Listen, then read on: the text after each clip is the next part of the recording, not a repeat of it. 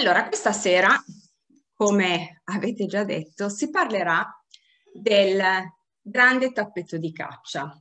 Si tratta di un'opera eh, molto importante, un'opera molto importante per le collezioni del museo, ma è anche un'opera importante sto nella storia del, della produzione dei tappeti, quindi è un'opera importante anche nel mondo.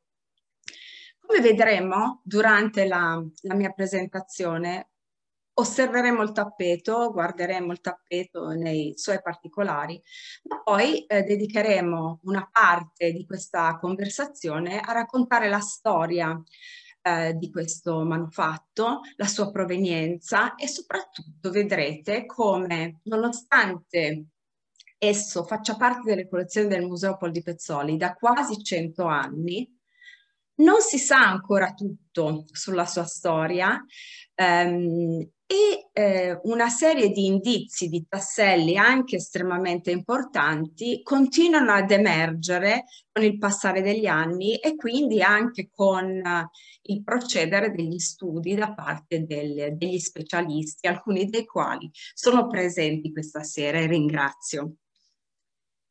Al, il tappeto di caccia eh, eh, è al Pol di Pezzoli, come vi dicevo, dal, da quasi 100 anni, dal 1923, ed è attualmente esposto nel Salone dell'Affresco, che vedete nella parte superiore sopra il soffitto, eh, che si trova al piano terreno del museo proprio dietro la, la biglietteria. Il tappeto è esposto in una grande vetrina ehm, adeguata alla sua conservazione e ehm, parliamo però un po' subi, subito delle sue caratteristiche. Il tappeto è stato prodotto eh, nella prima metà del XVI secolo in Persia e eh, si crede mh, da una manifattura di Tabriz che è mh, situata nell'area nord-occidentale della Persia eh, il tappeto misura 6,80 metri per 3,50 metri, quindi è un tappeto di grandi dimensioni, come ha scritto Chiara Gatti sulla Repubblica oggi, ha le dimensioni di un appartamento, di un piccolo appartamento.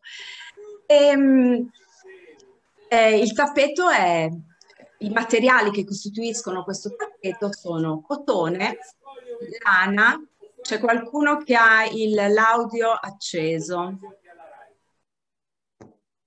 Avete tutti silenziato? Sì, scusate.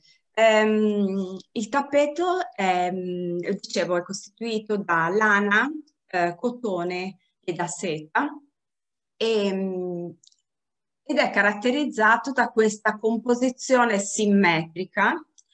E, la composizione è a ehm, medaglione centrale con quarti di medaglione agli angoli. Questo è il nostro medaglione centrale a um, fondo rosso, è un medaglione che presenta 16 lobi e ehm, presenta al centro un cartiglio di cui parleremo tra poco. E poi agli angoli abbiamo i quattro quarti di medaglione che presentano la medesima decorazione era una cosa tipica di questi, di questi tappeti. Ma veniamo ora al nostro medaglione centrale.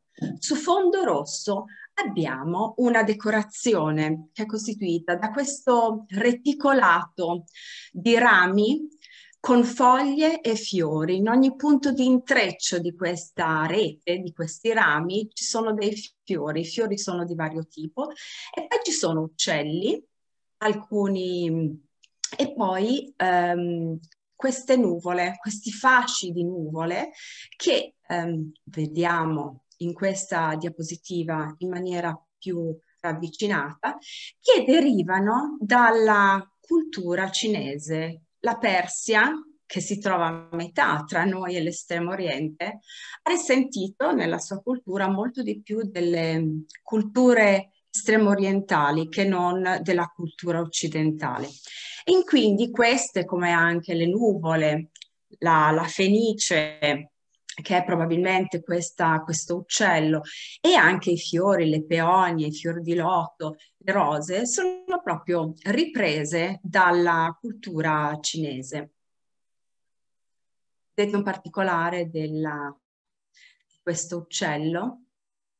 Il tappeto, lo vedrete in questi ingrandimenti, ehm, ha, eh, presenta diverse parti in cui eh, si è perso il pelo, in cui è un po' rarefatto, non è sicuramente nel momento in cui è stato prodotto era molto più vivace, molto più ricco, ma più saturo, diciamo, non, non si vedeva l'ordito ehm, in trasparenza come avviene in questo momento. Però vi faccio notare una cosa, che i colori hanno mantenuto la loro brillantezza, i blu, i gialli, il rosso e, ehm, e, anche il verde. Quindi tutti questi colori sono assolutamente meravigliosi. Questo è uno dei lobby del, del nostro medaglione. È una paperina. Al centro di questo medaglione c'è un'iscrizione, un cartiglio su fondo chiaro con un'iscrizione. E questa iscrizione rende il nostro tappeto particolarmente importante nella storia dei tappeti perché, come penso sappiate, non si sono conservati tantissimi documenti che riguardano la produzione, i, i luoghi di produzione, i nomi dei produttori dei tappeti. E, ehm, e quindi è abbastanza difficile riuscire a collocarli eh, con certezza e quando gli studiosi si sono trovati di fronte a elementi che potevano dare una datazione, chiaramente hanno utilizzato questi manufatti come dei punti di riferimento per costruire la cronologia. Questa iscrizione ehm, recita eh, per le fatiche di Ghias el-Din Jami, quest'opera rinomata fu condotta a sì splendido compimento nell'anno 949 o 929. La lettura del, della cifra che sta al centro, il 4 o il 2, non è chiarissima, per cui c'è una, una certa flessione nella data purtroppo. Alcuni studiosi propendono per una datazione anticipata, altri invece per una datazione successiva. Il 929 o 949 dell'Egira corrisponde eh, al 1522-23 oppure al 1542-43. Quindi siamo nella diciamo nel secondo quarto del, um, del XVI secolo. Per quanto riguarda l'autore, e di questo ringrazio Taher Sabai che si è introdotto ehm, all'inizio di questo collegamento, ehm, ci sono delle ipotesi e spero che lui nel co continuare i suoi studi possa finalmente pubblicare ehm, un, un, libro che ha eh, già in lavorazione in cui ci parli anche di questo, di questo elemento. Ehm, egli dice che il, um, il nome Ghias el-Din è un nome che si trova frequentemente nella storia persiana del XVI secolo e ehm, esiste, ci sono testimonianze che parlano di un importante ehm, autore di miniature che aveva questo nome e, e, altri personaggi, quindi il nome era diffuso, però si sofferma su quest'ultimo termine, Jami, indicando probabilmente la um, città di provenienza di questo, di questo signore, che molto probabilmente era il um, responsabile, il proprietario della manifattura dove è stato tessuto questo tappeto. Si tratta di Jean nel Kossaran, che è nel, nel um, Khorasan, scusate, che è nell'area um, nord-orientale della, della Persia. Ma torniamo al nostro tappeto e continuiamo la nostra osservazione. Dal medaglione centrale si sviluppano due pendenti, due elementi Um, sul senso, uh, diciamo, um, più lungo, nella, nel senso più lungo del tappeto e sono costituiti da un cartiglio chiaro, che vedete qui, con di nuovo rami con fiori e due uccelli eh, all'estremità e due pesci che incrociano la loro coda al centro e poi un pendente nella parte più esterna che richiama eh, le lampade che sono presenti nelle moschee. Quindi c'è un chiaro eh, riferimento. Veniamo infine al campo centrale, campo centrale su fondo blu che presenta scene di caccia, scene di caccia che danno appunto il titolo a questo tappeto. Eh, su un fondo blu, ancora vivace, molto bello, come vedete, si, ehm, si sviluppa anche qui una rete di rami che si intrecciano con fiori di vario tipo e eh, con una presenza di animali di diverse specie. E all'interno di questo gruppo ci sono 28 cavalieri a cavallo e quattro fanti. Quindi si tratta di, dividendo il tappeto in quattro parti, di sette cavalieri e un fante per ogni quarto di questo, di questo, di questo campo centrale. E andiamo a vederli un po' nel dettaglio. Vedete i dettagli di questi fiori, come sono stati realizzati, addirittura creando un bordino scuro di rifinitura verso l'esterno di ogni campitura, utilizzando diversi colori. E poi molto divertente, molto carino è anche la posizione di questo uccellino. Spesso ci sono questi fiori, questi uccelli che si nascondono eh, quasi dietro, dietro ai fiori. E vedete qui un altro esempio di, di fiore, quindi peonie, fior di loto, margheritine, rosette, tutti fiori che si ritrovano nei giardini dei palazzi eh, persiani ancora adesso. Ma veniamo a analizzare i, i nostri cavalieri. Tutti i cavalli sono in movimento e tutti i cavalieri sono um, anch'essi eh, realizzati in movimento e seguono in maniera coerente eh, lo slancio del loro cavallo. In questo caso abbiamo un cavaliere che sta per scoccare una freccia che è ancorato alla sella del suo cavallo, ma che è completamente girato verso l'esterno per colpire l'animale, quindi è aggrappato al cavallo che sta correndo, che sta galoppando e sta per scoccare questa freccia. Ma vediamo com'è la bardatura del cavallo. Tutti questi cavalli, lo noterete, hanno un, copri, un, copri, un sottosella e una sella eh, con decorazioni diverse. A volte anche la coda del cavallo presenta delle decorazioni particolari. E il cavaliere ehm, indossa degli stivali, una, una giacca che in questo caso è abbottonata davanti, ha una cintura che gli cinge il fianco, la vita, eh, che è fatta da questi elementi floreali e poi indossa il turbante con il tipico pennacchio e della mm, cultura eh, persiana. Poi vi faccio notare anche le espressioni di questi cavalieri, sono una diversa dall'altra, a volte le sopracciglia sono più rimarcate, addirittura c'è un personaggio che ha i baffi, quindi sono fortemente connotati. Immaginate in una dimensione come quella che abbiamo descritto prima, 6 metri e 80 per 3 metri e mezzo, quanti dettagli e quanti nodi per descrivere ciascuno di questi dettagli. Vi faccio notare anche la, lo stile di realizzazione. Anche qui come dei fiori, vedete, ci sono questi profili delle campiture delle parti decorate che sono sempre eh, contornati da questo filo più scuro che fa eh, emergere maggiormente la decorazione. E poi andiamo avanti, ne vediamo un altro.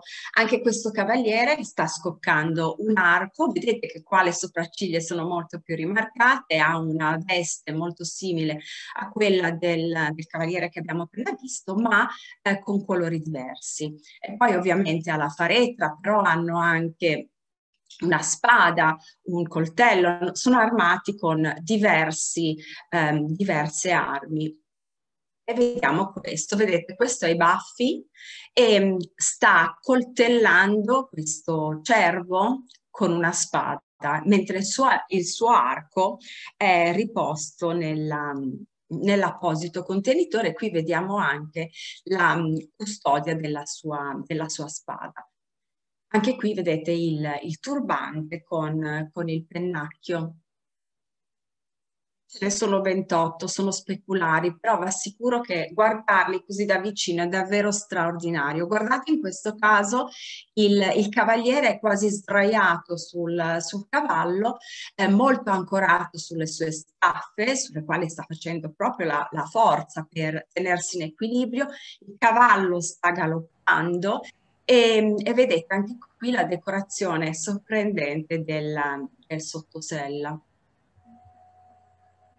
E poi veniamo ai fanti. I fanti sono quattro, non sono a cavallo, quindi probabilmente sono dei servitori, non hanno il turbante e non hanno nemmeno gli stessi calzari, quindi ehm, anche l'abbigliamento sta a indicare il tipo di classe sociale alla quale i vari personaggi appartenevano. Eh, in questo caso forse sta uccidendo un orso o, un animale del genere, ma vediamo gli altri animali, vedete, qui abbiamo degli asini, ehm, abbiamo un cerbiatto, poi ci sono le protti, gazzelle, gli uccelli che abbiamo visto prima, quindi vedete è ricchissimo di dettagli, ci si perde a guardare questo tappeto. La caccia. La caccia è un um, tema che era molto caro agli Shah. In realtà l'attività della caccia era molto cara anche ai sovrani e agli aristocratici europei. È un'attività che, che svolgevano tutte le classi più elevate in tutto il mondo. E, ehm, e, quindi è un tema che viene sviluppato dagli artisti in diverse um, situazioni, con, in diversi generi. In questo caso abbiamo un, un disegno, um, poi abbiamo anche moltissime miniature che raffigurano scene di caccia, vedete tanti personaggi che stanno eh, o assistendo o addirittura compiendo un'impresa con animali di, di diverso tipo, in questo caso è un leone. E cacciare, questo è molto importante, non era soltanto un passatempo per questi persiani, ma era un vero e proprio esercizio che eh, serviva a temprare il fisico e gli animi perché rappresentava il più idoneo addestramento per la guerra, prima di tutto, ovviamente. Ma la caccia aveva anche un valore simbolico, ehm, rappresentava la lotta tra i vizi e le virtù, tra il bene e il male, tra la razionalità e l'istinto e quindi è un tema che viene molto sviluppato, non soltanto nella cultura, nella cultura persiana. E veniamo alla parte più periferica del tappeto, ehm, la bordura. La bordura è un elemento altrettanto importante. La bordura è mm, come se fosse un, il recinto, un, il, l'elemento di divisione tra la dimensione del tappeto e la dimensione esterna, quella terrena.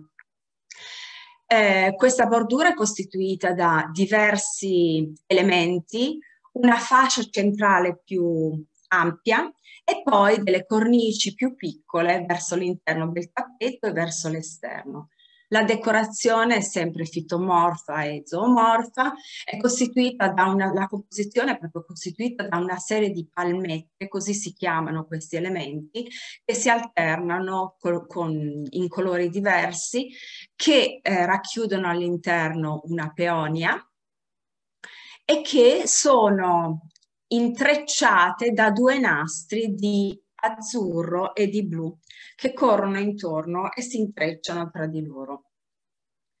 Il, ehm, dicevo, la bordura proprio segna il passaggio, la dimensione del tappeto. Il tappeto è, um, ha un valore simbolico molto, molto importante nella cultura persiana. Il tappeto in qualche modo è la casa Eh, il tappeto, pensate, per le persone di religione islamica è il luogo della preghiera, quindi è il luogo che separa il, um, il fedele um, dalla realtà terrena e lo porta verso una realtà superiore, una realtà spirituale. E, um, il tappeto, è il caso ad esempio del nostro meraviglioso tappeto delle tigri, che raffigura un parco, un giardino. Il tappeto può anche essere la mm, rappresentazione del giardino del paradiso e quindi per entrarci e per uscirci bisogna comunque passare un, un cancello, un punto, attraversare un punto di passaggio. E, e questo è veramente la, la funzione magica della, della bordura del, del tappeto. I tappeti quindi erano, sono tornata indietro, scusate, i tappeti dunque erano molto importanti, sono ancora molto importanti per la cultura persiana, ma erano molto importanti anche per la, per la cultura occidentale. Eh, nel Rinascimento mm, ci vengono in mente tantissimi esempi di dipinti in cui vengono raffigurati soprattutto personaggi sacri nei quali compaiono dei tappeti e i tappeti sono trattati come oggetti di grande preziosità e di grande pregio. Il tappeto è posto su una balaustra, come in questo caso, mm, questo è un particolare dell'annunciazione di Ascoli di Carlo Crivelli, che è conservato al National Gallery di Londra. Sono posti sul davanzale dove magari la Madonna appoggia il bambino, sono sotto il trono, sotto i piedi della, della Madonna in trono, ehm, sono su un tavolo, quindi sono sempre utilizzati come elementi di grande preziosità ed erano talmente presenti nella nostra cultura occidentale che addirittura alcune tipologie di tappeto hanno anche preso il nome degli artisti che li hanno riprodotti. Questo genere di tappeto è il tappeto detto tappeto Crivelli. Per restare solo in Italia abbiamo anche il tappeto Lotto, un tappeto caucasico che vediamo in questo ritratto di coniugi che eh, si conserva al Museo Statale dell'Ermitage a, a San Pietroburgo. Vedete, è riprodotto fedelmente perché circolavano i tappeti, c'erano e gli artisti li potevano copiare tranquillamente. Veniamo a parlare adesso della provenienza del nostro tappeto. Um, come vi dicevo all'inizio, eh, la storia del tappeto non è ancora mh, del tutto ricostruita. Sappiamo che è stato prodotto in Persia, sappiamo che è stato prodotto tra il 1520 e il 1543. Um, sappiamo che è stato prodotto a Tabriz, ma per chi è stato prodotto? Um, quando è arrivato in Europa? Perché questo tappeto eh, è vero, è Pol di Pezzoli da, da 100 anni, ma prima dov'era? Alcune cose si sapevano ed è soltanto da pochissimi mesi, grazie a Marco Spallanzani e Maria Taboga, che saluto, ehm, che eh, si è fatta luce, si è fatta chiarezza almeno su una parte di storia di questo, di questo tappeto, ovvero da quando ehm, è arrivato in Europa. Dicevo, non si sa per quale ragione, non si sa se è stato commissionato da, da, dagli italiani o se sia, come spesso è successo, un dono diplomatico che è giunto in... Um, in Europa appena eh, dopo la sua produzione e poi lì è stato conservato. Eh, questo tappeto ha una particolarità che ha mh, mm, fatto sì che ci fossero, che ci siano state delle discussioni tra, tra studiosi.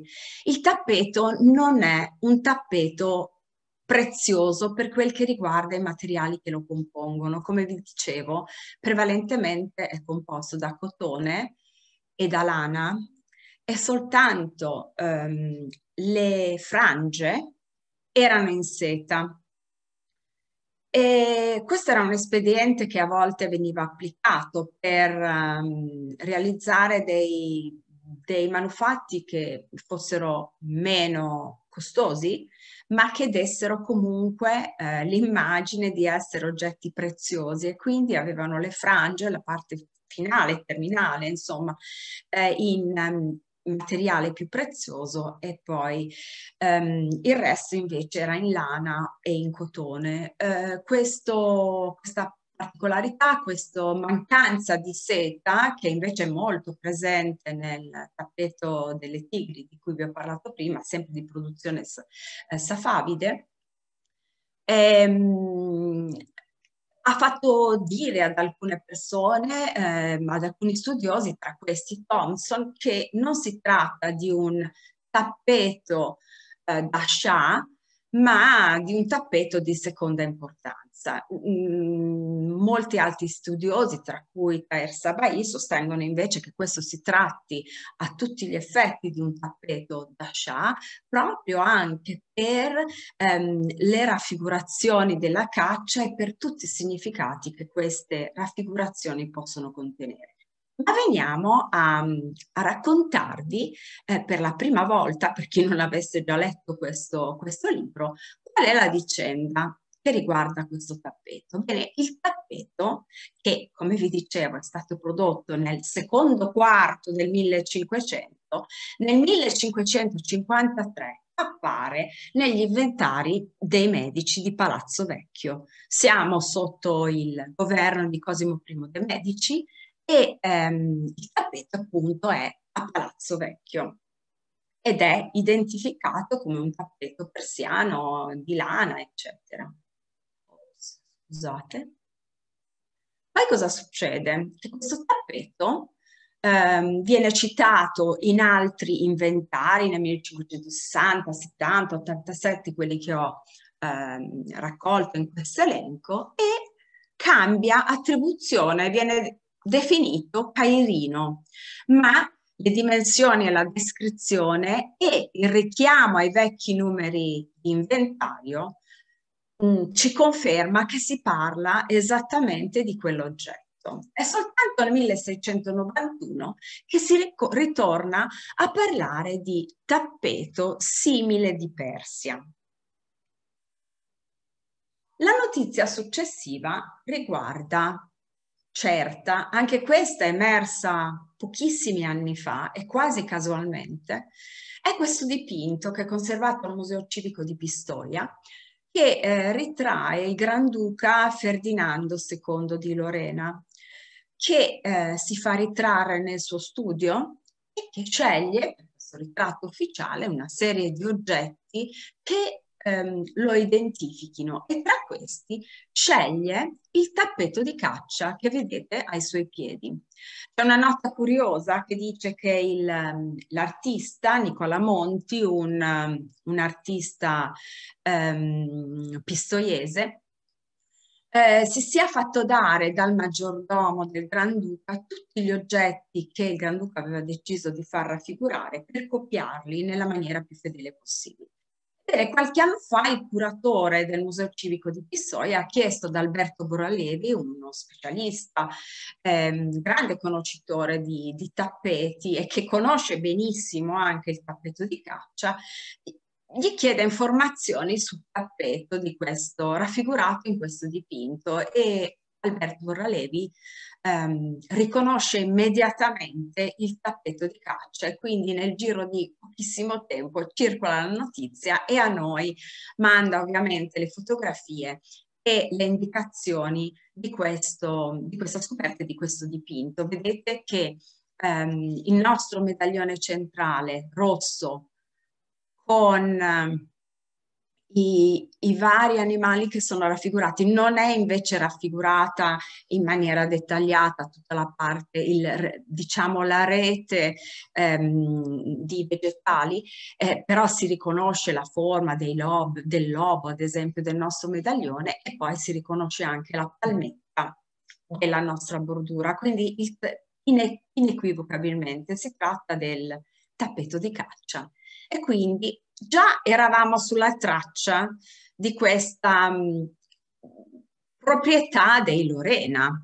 In realtà agli inizi del Novecento erano state avanzate due ipotesi. Da un lato eh, che il tappeto potesse essere, arri- che arrivasse da Palazzo Pitti e quindi che fosse legato ai, ai Lorena e dall'altro che invece il tappeto si trovasse al Quirinale che fosse di proprietà dei papi e lì se lo si fossero trovati Savoia al loro arrivo. In realtà eh, questo dipinto già ci dava delle indicazioni e le ricerche d'archivio ovviamente ci hanno ehm, confermato e dato anche delle informazioni che ehm, ci fanno andare molto più indietro nel tempo.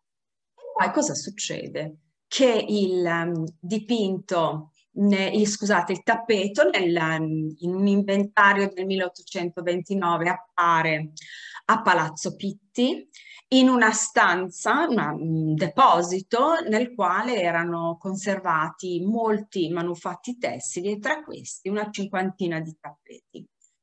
Nel luglio del 38 avviene prima, un primo intervento eh, distruttivo, non conservativo sul tappeto, nel senso che c'è un ordine che viene fatto alla ditta Brugnori e Frangini di ridurre il tappeto di dimensioni. Molto probabilmente si decide di collocare il tappeto in una certa stanza, in una certa sala, che è di dimensioni inferiori rispetto a quelle del tappeto e quindi si chiede di ridurre la dimensione del tappeto.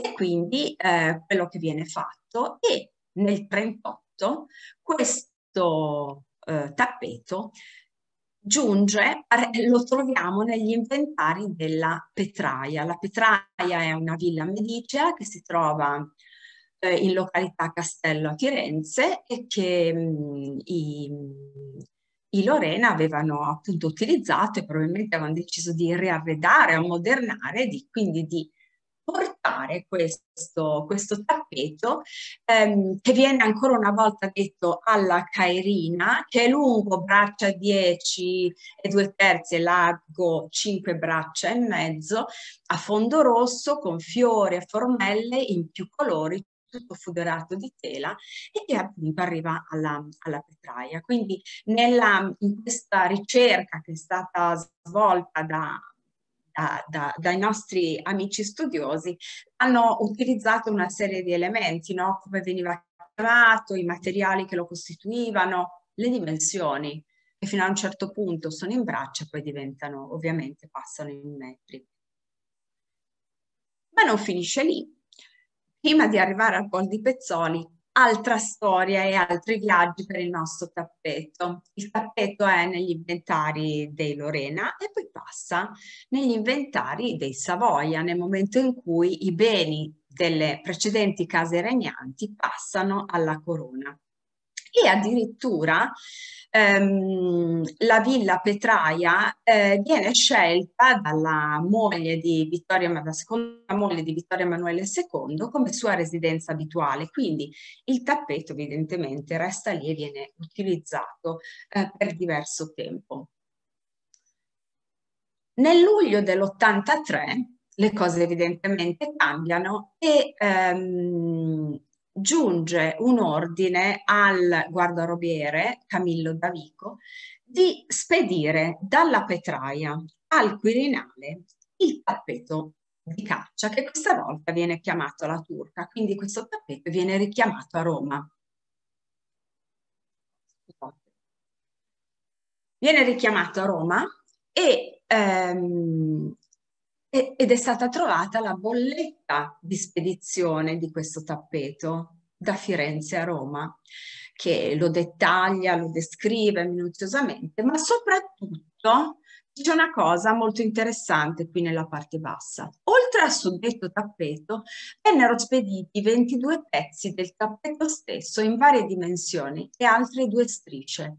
Vuol dire che con il tappeto vengono spediti anche i vari pezzi che erano stati tagliati, staccati o mm, tagliati per, per la riduzione. E quindi tutto il mm, pacchetto viene spedito a Roma e a Roma giunge nel 83.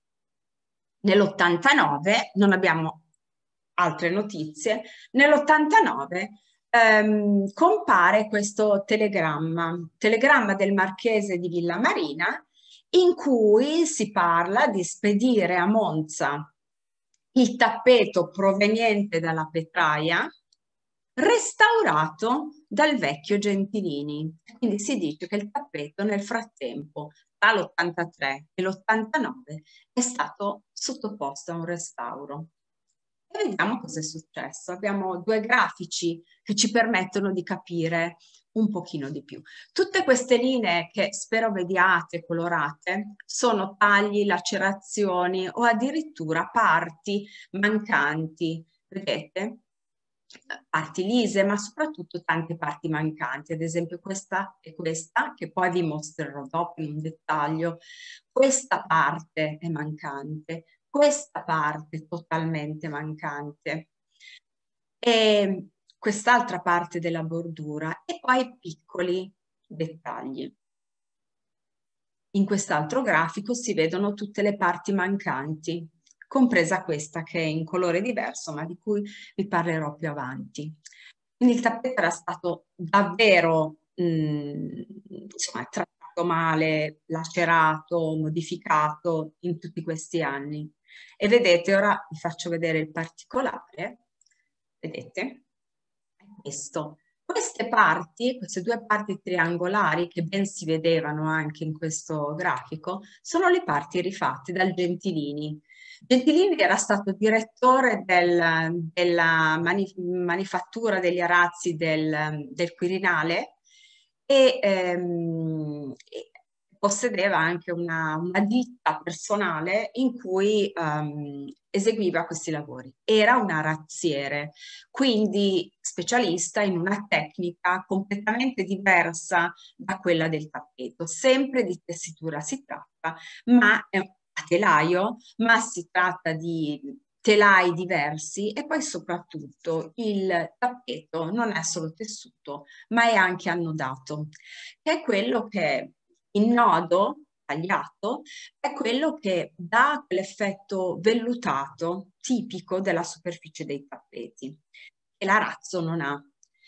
E eh, questo Gentilini non aveva idea di come si potesse riprodurre un, un tappeto e quindi ha realizzato tutte le parti mancanti imitando perfettamente il colore e mh, copiando o comunque in qualche modo evocando anche gli elementi decorativi con una tecnica diversa, una tessitura semplice con degli elementi, delle aggiunte di, di ricamo per certi particolari. Quindi è una tessitura completamente diversa. Mi soffermo su questo particolare per farvi vedere come le parti che sono state integrate nel, nel nell'Ottocento, alla fine dell'Ottocento, si siano um, sbiadite con il passare del tempo. Sicuramente quando il tappeto è stato restituito ai Savoia ehm, presentava i colori brillanti e esattamente identici a quelli originali. Poi con il tempo questo si, si è perso.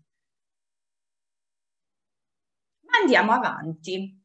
Il tappeto, scusate, il tappeto doveva andare a Monza nell'89, ma non parte. Parte invece nel 95 e eh, nell'ottobre del 95 eh, viene, lo troviamo citato nell'inventario dei mobili di dotazione della corona di Monza con descrizione un tappeto o meglio arazzo persiano a fondo turchino e cremisi eccetera eccetera.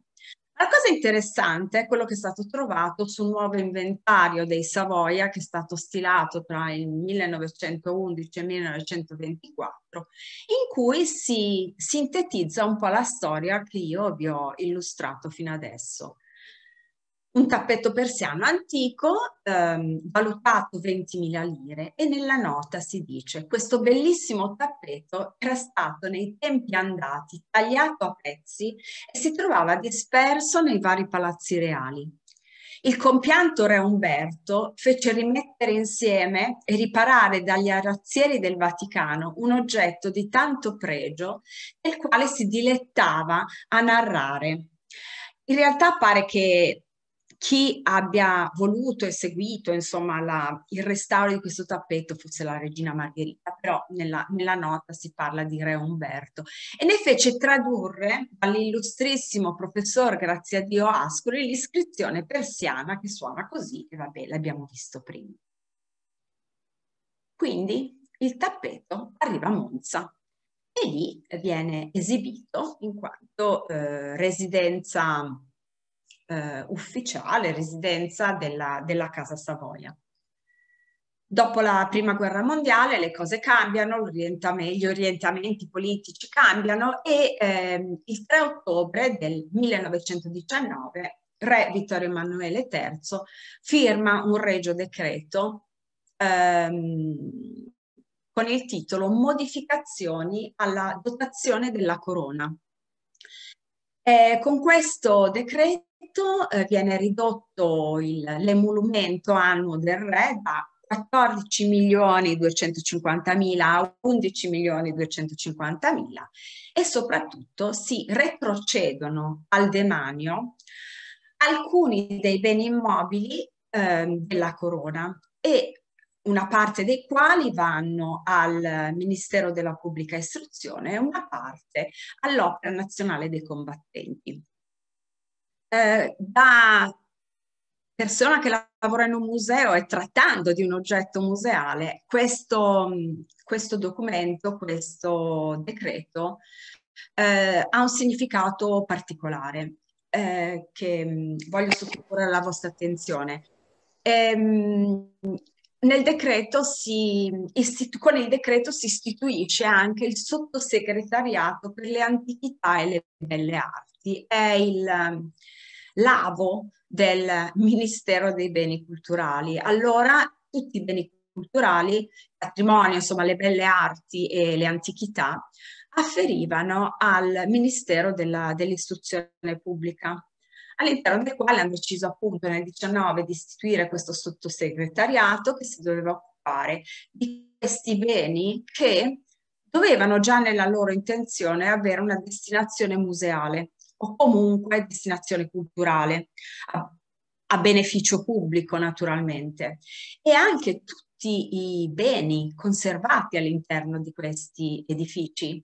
Tra questi c'è la Villa Reale di Monza, Palazzo Reale di Napoli, Palazzo Pitti, Palazzo Ducale di Venezia, tutti questi importanti palazzi che erano i palazzi reali delle, dei vecchi stati italiani, tutti i beni dovevano essere destinati, um, cioè parti di questi beni contenuti nei, negli edifici dovevano essere destinati anche a sedi museali, perché bisognava eh, arricchire il patrimonio che veniva esposto ehm, a scopo didattico nei musei nazionali.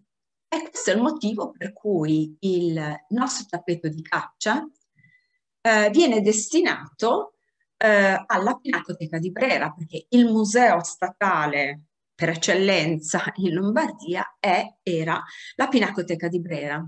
E quindi il tappeto viene destinato a Milano, a Brera. Ma Brera è una pinacoteca, ha una collezione straordinaria di dipinti e il soprintendente di allora, Ettore Modigliani, ritiene incoerente tenere il tappeto ehm, a Brera e pensa immediatamente di metterlo in deposito, di darlo in deposito all'unico museo milanese che avesse una collezione di tappeti, ovvero il Museo Pol di Pezzoli. Ecco come questo tappeto, che è di proprietà dello Stato, arriva al Pol di Pezzoli nel 1923, quindi eh, 98 anni fa il Museo Pol di Pezzoli, non tanto in cambio, ma insomma perché aveva delle esigenze specifiche, in questi anni, nel 22 esattamente, cede in deposito temporaneo alla Pinacoteca, Pinacoteca di Brera questo politico che possiamo vedere nelle sale, questo politico che recentemente è stato attribuito a Giovanni Angelo D'Antonio, un pittore attivo eh, nella prima età del 400 a Camerino e che ehm, è di dimensioni abbastanza imponenti per ehm, le piccole sale del Museo Poli Pezzoli. Quindi ritenevano che potesse essere maggiormente valorizzato nella Pinacoteca di Brera. Anche qui c'è una storia collezionistica ehm, curiosa e interessante che vi mh, sintetizzo eh, in, in poche battute. La tavola con la Madonna e il bambino in trono era stata acquistata da Gian Giacomo Poli Pezzoli, poi um, nel, nel, 1910 e nel 1914, in due momenti diversi da due diciamo, acquire, eh, venditori diversi, erano state acquistate le tavole ehm, della, della, parte bassa e poi le tavole invece del registro superiore.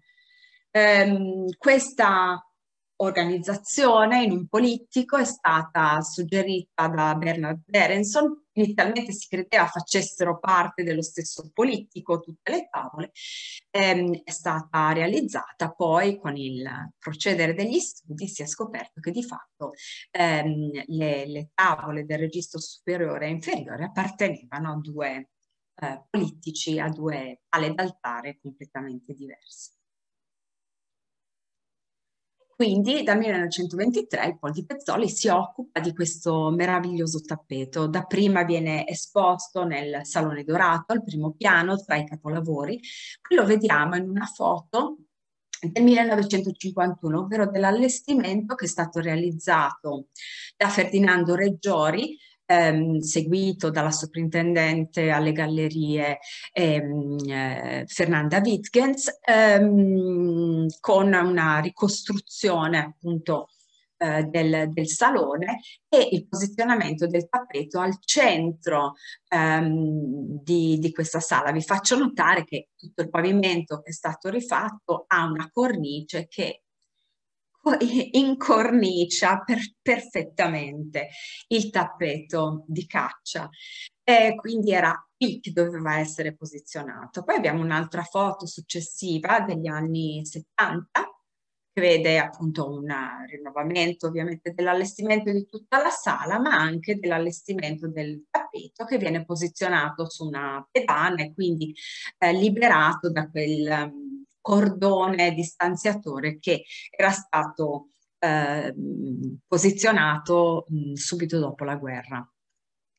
Negli anni 90 eh, il tappeto viene sottoposto a un intervento di foderatura, un intervento conservativo, una foderatura che è cioè, l'applicazione di una tela di supporto sul retro che permette di eh, rafforzarlo nella sua struttura e viene costruita appositamente una grande teca che ehm, posizionata appunto nel, nel, salone dell'affresco al piano terreno del museo, ehm, dotata di una, di una pedana leggermente inclinata, che è questa, con rivestita di materiali di tessuto non acido, quindi adeguato alla conservazione del tappeto e il tappeto viene collocato eh, su questa parete, vedete, lo stanno srotolando e ehm, ecco, potete immaginare tutte le volte che si deve muovere questo tappeto tra battello, parecchie persone perché è un'opera nonostante sia sana e, e robusta, comunque 500 anni e le fibre hanno 500 anni e quindi è un oggetto molto, molto fragile per il quale, che va maneggiato comunque con estrema, con estrema cautela. E quindi nel 93 il tappeto ehm, trova la sua collocazione attuale. Ma non è finita qui. Il museo, come per tutte le opere che conserva, che sono arrivate a superare le 6.500 grazie alle ultime donazioni, eh, si occupa di conservare, di studiare, di esporre ehm, tutte queste azioni per ciascuna delle 6.500 opere. E il tappeto una volta sistemato nella sua grande vetrina non è rimasto a dormire, nel senso che negli anni successivi è stata portata avanti un'azione di studio in collaborazione con il British Museum di Londra e con Asia Society Museum di New York. E ehm, questi studi hanno portato alla realizzazione di una mostra internazionale eh, che mostrava 150 pezzi, quindi una mostra molto imponente, ehm, e che ha avuto due sedi nel 2003, nella fine del 2003, inizio del 2004 a New York e nella primavera-estate del 2004 al Museo Pol di Pizzoli e a Palazzo Reale perché queste oltre 100 opere al Museo Pol di Pizzoli non avremmo potuto potuto eh, ospitarle. Al Museo Poldi Pezzoli, eh, chi la faceva da padrone, insomma il protagonista della, della, mostra era il tappeto di caccia, non esposto nella sua vetrina, ma eccezionalmente esposto nuovamente in orizzontale su una grande pedana nella sua sala, nella sala dell'affresco. E il titolo della mostra era Caccia in paradiso, proprio dal... Um, dalla raffigurazione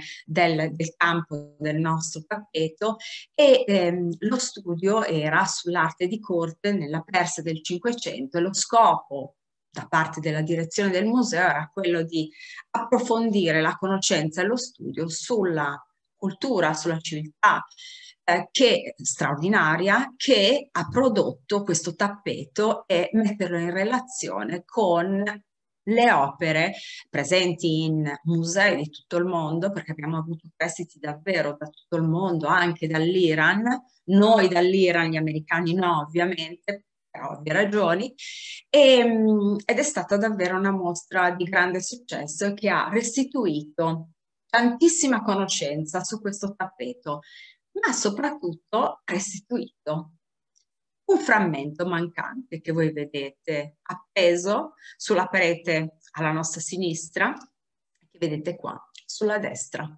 Un frammento della bordura. In, quello, in realtà questo frammento è anche un altro.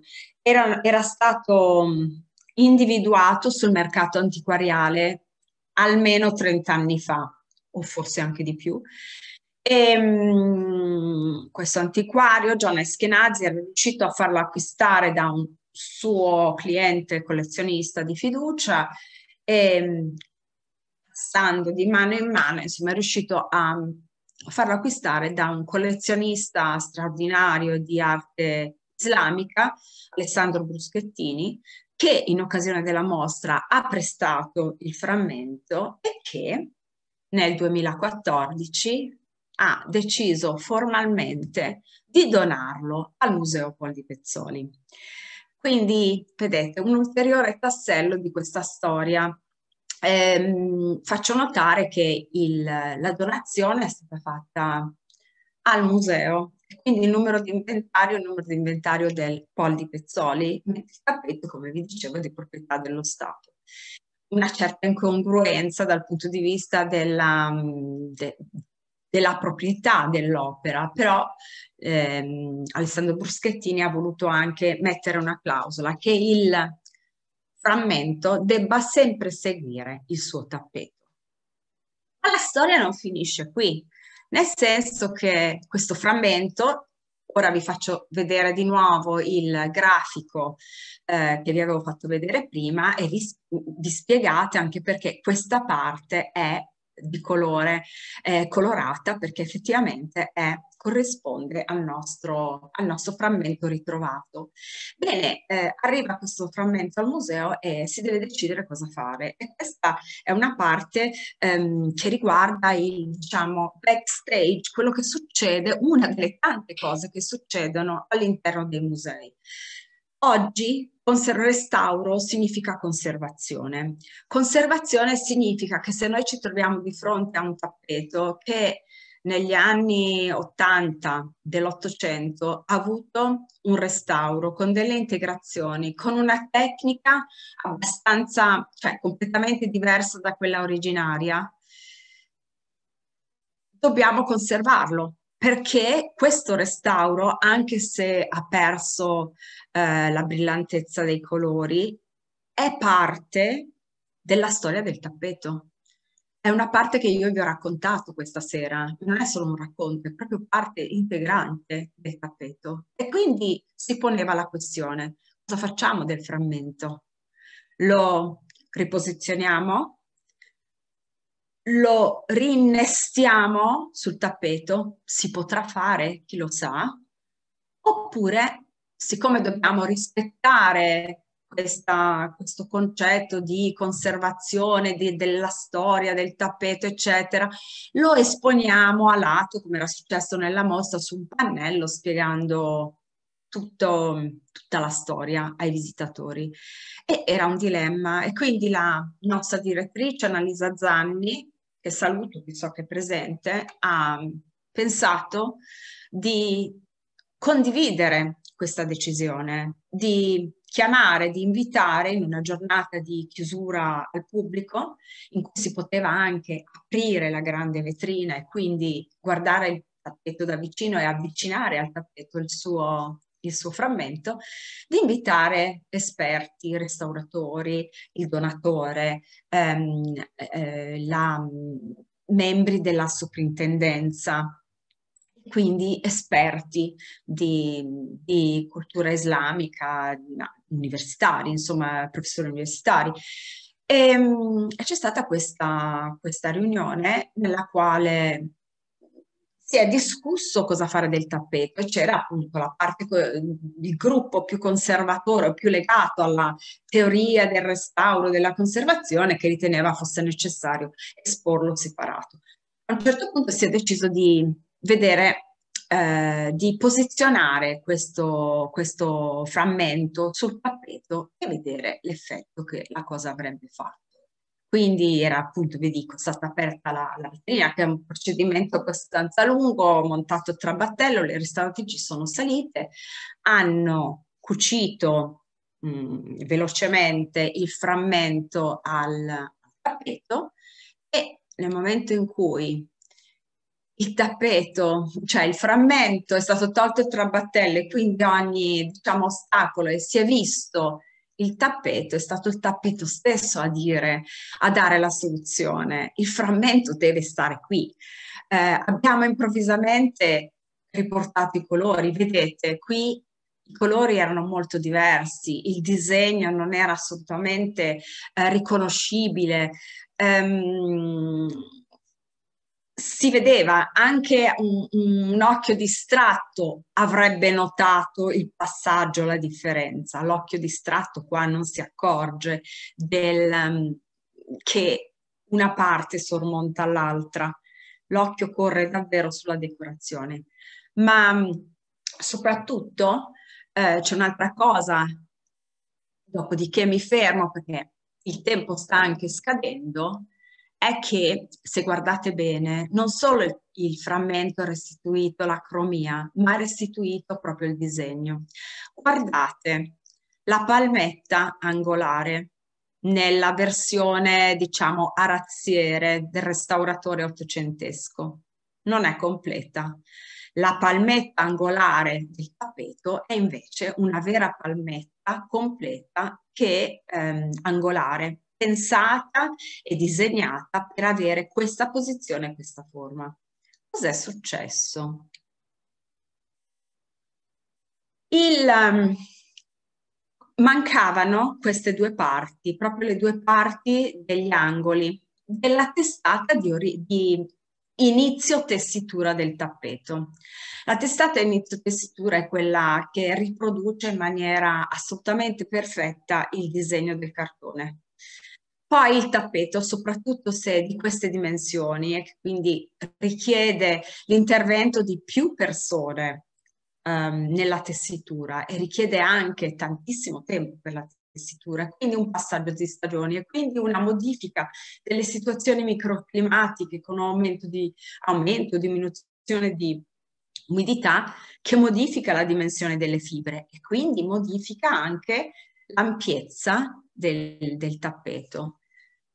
Quando si arriva in fondo con queste modifiche dovute a, all'azione umana, perché uno può tirare più o meno i fili, annodare più o meno in maniera serrata, ehm, il tappeto difficilmente arriva eh, nelle stesse dimensioni della testata di partenza e quindi il tessitore di tappeti che è abile eh, cerca di risolvere con qualche scamotage la decorazione alla fine, vedete, non realizza una perfetta palmetta angolare, ma una decorazione un po' sfalsata. L'arazziere che doveva ricostruire queste due parti e non aveva idea di come si facesse un tappeto e di che tipo di decorazione potesse avere un tappeto, non aveva proprio idea, ehm, ha copiato quello che si vedeva nella testata terminale e quindi ha riprodotto quello che abbiamo visto prima. Ops. Questo, vedete? Una palmetta completamente deformata. E con questo ho concluso la mia presentazione e lascio la parola a voi per eventuali domande. Grazie per l'attenzione.